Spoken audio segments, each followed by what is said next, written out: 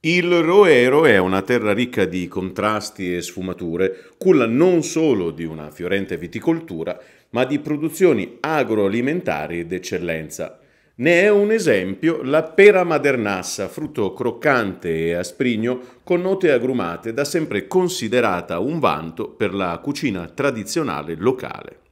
Il Roero è una terra che vanta ancora oggi una biodiversità che in altre zone del Piemonte non, eh, non riusciamo a trovare.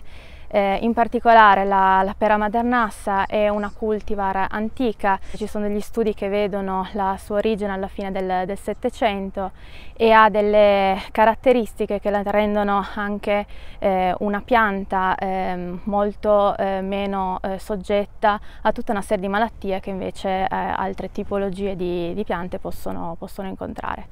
Eh, per questo è un prodotto riconosciuto che grazie anche al lavoro dei, dei nostri coltivatori viene sempre più valorizzato, eh, in particolare viene valorizzato con fine quello di interessare sempre di più il consumatore finale che lo trova molto spesso sempre eh, nel, magari nei menu dei ristoranti e viene quindi in questo modo anche eh, diciamo, vantata tutta la, eh, la grande qualità che riusciamo a portare sulle tavole dei consumatori.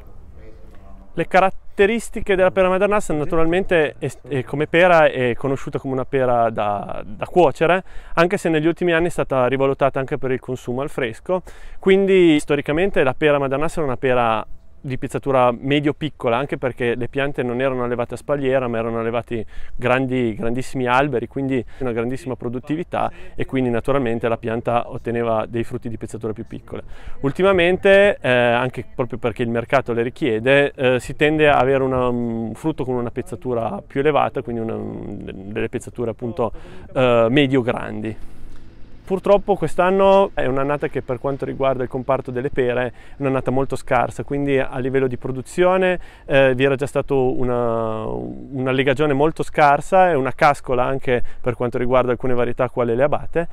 Per fortuna eh, la varietà Madernas è una varietà molto rustica che possiamo definire anche una varietà molto generosa dal punto di vista produttivo. Infatti per quanto riguarda le pere, le Madernas eh, sono l'unica varietà in cui possiamo stimare una produzione circa al 70% del, del suo potenziale dell'annata normale. Come tutti ben sappiamo gli eventi climatici non sono stati favorevoli, quindi le piogge primaverili, il caldo torrido estivo e in più in alcune zone della nostra azienda, eh, principalmente nel comune di Guarene, una fortissima grandinata che ha pregiudicato la maggior parte dei nostri raccolti.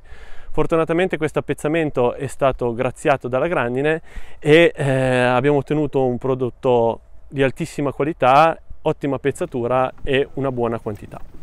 Come molte specie autoctone, la pera madernassa è rimasta a lungo sconosciuta ai più, con un utilizzo limitato ai contadini della zona, fino a quando nel 2015 a Guarene un gruppo di giovani produttori e imprenditori locali decide di fondare il Consorzio per la valorizzazione e la tutela della pera madernassa di Guarene e del Roero, con lo scopo di promuovere il prodotto e agevolarne il commercio interno ed esterno. Ce ne parla Daniele Occhetto, presidente del consorzio, oltre che proprietario di un'azienda ad indirizzo misto viticolo e frutticolo.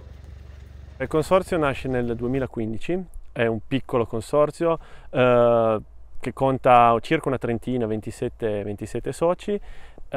abbiamo deciso di chiamarlo Consorzio della Pera Madernassa di Guarene e del Roero perché naturalmente la Pera Madernassa non è di un solo paese, quindi non di solo Guarene, ma di un intero territorio, quindi del territorio del, del Roero. Uh, il consorzio è composto fortunatamente per la maggior parte da uh, produttori relativamente giovani, comunque giovani, che hanno voglia di far conoscere le qualità della pera madernassa. Naturalmente l'attività del consorzio è molto importante dal punto di vista di, di, promozione. La nostra azienda ha dato vita a un progetto che si chiama Progetto Yuppi, progetto di fattoria didattica che ha come scopo quello di avvicinare, sensibilizzare il consumatore finale